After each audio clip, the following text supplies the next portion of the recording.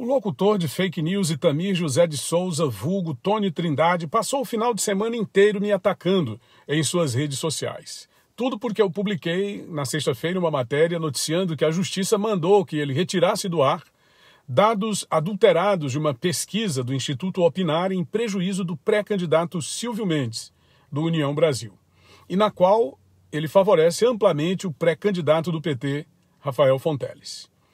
Tony Trindade me chamou de invejoso, recalcado, lixo e disse que meu canal no YouTube tem vídeos com menos de 500 views. O decadente personagem está acostumado a reagir com ataques injustificados quando alguém fala sobre sua postura nada recomendável. Na verdade, ele ataca para não ter que se explicar, ou então para tentar intimidar. Mas ele não tem que responder a mim. Ele tem que responder ao Poder Judiciário e à polícia. Talvez ele também devesse responder à sua consciência, se é que ele tem uma. Explicar o processo por furto de energia que ele responde na primeira vara criminal de Teresina. A condenação da Justiça Federal por utilização de rádio pirata na cidade de Monsenhor Gil, na qual cumpre pena de dois anos de detenção, com substituição da privativa de liberdade por restritivas de direitos. Tem ainda o inquérito de um roubo suspeitíssimo ocorrido com recursos de campanha eleitoral na cidade de Timon, no Maranhão, em 2012. Acrescente-se a isso o fato de que ele agora está na mira da justiça, por ter se associado à usina de fake news de um certo governo petista.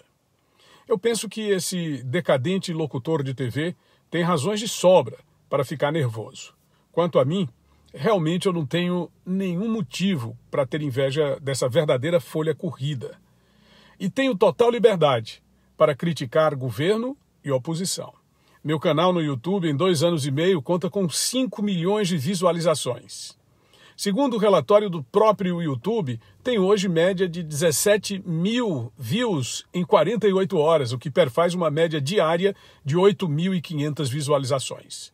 Conta ainda com 92 mil e 800 visualizações nos últimos 28 dias. Tudo isso sem usar a televisão de ninguém para me promover ou ao canal e sem qualquer impulsionamento pago.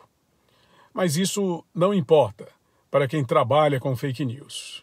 Verdade e consciência são coisas que andam bem distantes desse tipo de gente.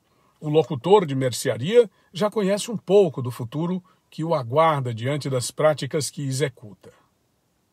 Tony Rodrigues, além da notícia.